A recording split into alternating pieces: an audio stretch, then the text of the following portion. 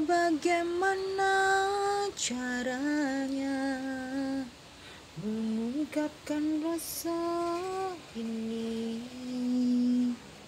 Atau memang mungkin ku tiada rasa dan menambah beban biasa Rambutku nguncir ya aneh ya. Kau yang memanjang dengan biasa? Rasa dan kau yang memanjang dengan biasa Bagaimana caranya mengungkapkan rasa ini